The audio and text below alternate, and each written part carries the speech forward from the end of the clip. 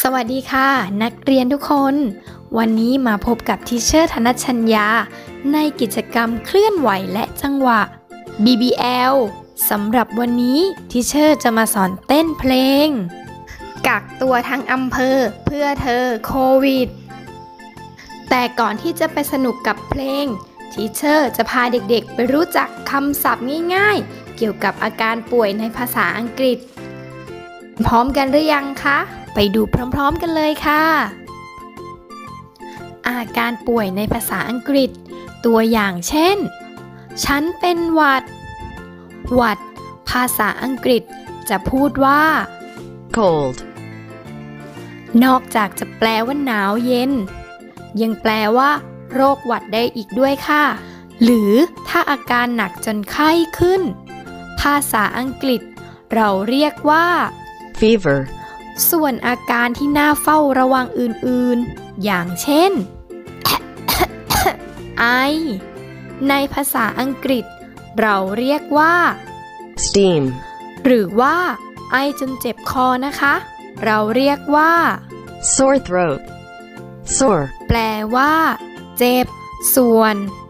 throat, แปลว่าลำคอ จึงแปลว่า เจ็บในลำคอ หรือว่าเจ็บคอนั่นเองค่ะ ส่วนอาการของไข้หวัดปกติค่ะ อย่างเช่นฮัดไข้อาการจาม ภาษาอังกฤษเรียกว่า sneeze, หรือถ้าจามจนมีน้ำมูกไหล เราเรียกว่า runny nose, runny, ในที่นี้ไม่ได้แปลว่าวิ่งนะคะ แต่แปลว่า ไหล หรือหยด เลยแปลว่า จมูกหยด หรือน้ำมูกไหลนั่นเองค่ะ ทบทวนกันอีกครั้งนะคะ หวัด ภาษาอังกฤษ เราเรียกว่า cold, เป็นไข้ ภาษาอังกฤษ เราเรียกว่า fever, ไอ ภาษาอังกฤษ เราเรียกว่า steam, เจ็บคอ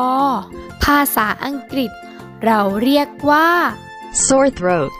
จาม ภาษาอังกฤษ เราเรียกว่า sneeze, จามจนน้ำมูกไหล ภาษาอังกฤษ เราเรียกว่า runny nose,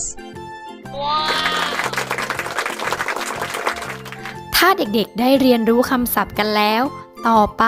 ทีเชอร์จะพาเด็กๆ ไปเต้นออกกำลังกาย เพื่อสร้างภูมิคุ้มกันโรคกันค่ะ เด็กๆ พร้อมกันหรือยังคะ ไม่ได้ยินเสียงเลยค่ะ อ่า ถ้าเด็กๆ พร้อมแล้ว อย่าลืมชวนผู้ปกครองมาสนุกไปพร้อมๆกันนะคะ 1 2 3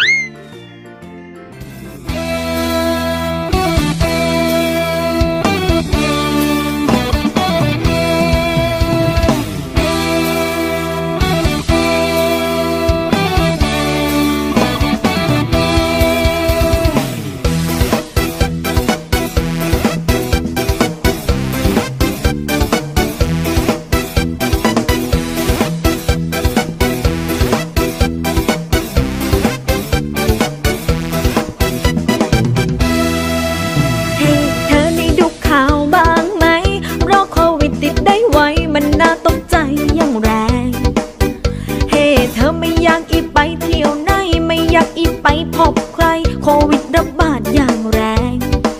ก็อยากจะเดินเข้าไปหาไปทัก แต่เพื่อคนที่เรารักกักตัวไว้ดีกว่า ไอเรื่องเที่ยวที่เคยแล่งกันวันก่อนให้หยุดเอาไว้ก่อน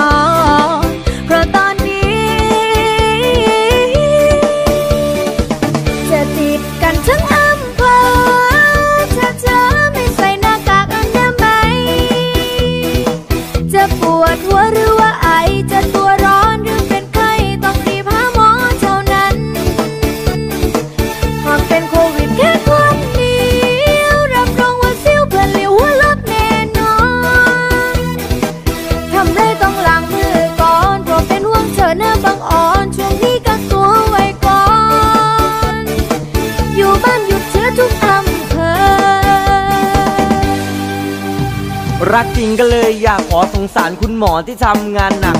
หมอเหนื่อยจนไม่ได้พาประชาชนที่รักจะได้ปลอดภัยอะกักตัวกันก่อนได้ไหมพ้นโควิดนี้ไปจะได้ปลอดภัยทั้งอำเภอนะสาวๆจ้า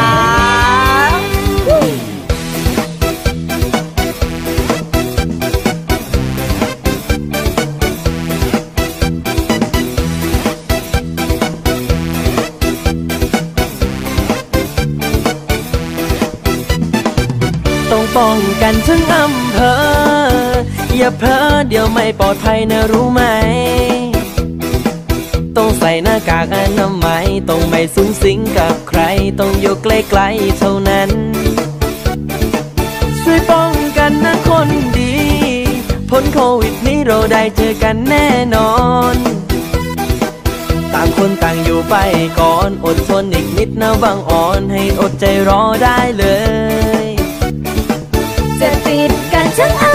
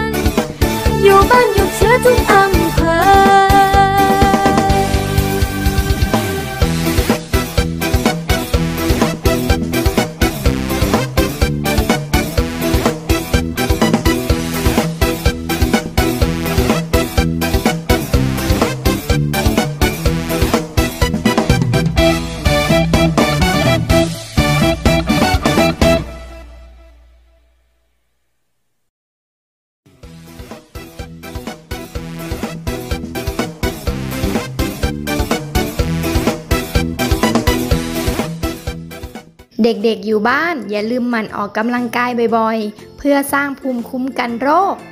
และไม่ออกไปข้างนอกบ้านถ้าไม่จำเป็นนะคะ อยู่บ้าน หยุดเชื้อ